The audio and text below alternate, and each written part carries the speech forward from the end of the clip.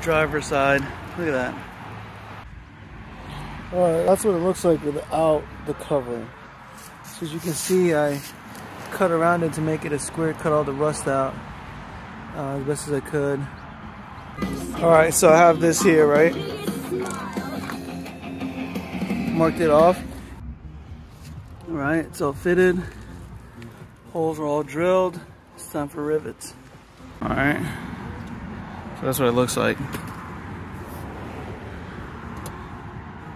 So it's pre-drilled. Alright, stick that in there.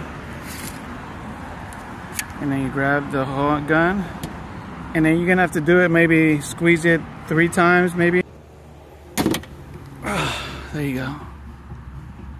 I'm still working on this side because some things has to dry. But check it out, before. Right, all done. That's where the thing is.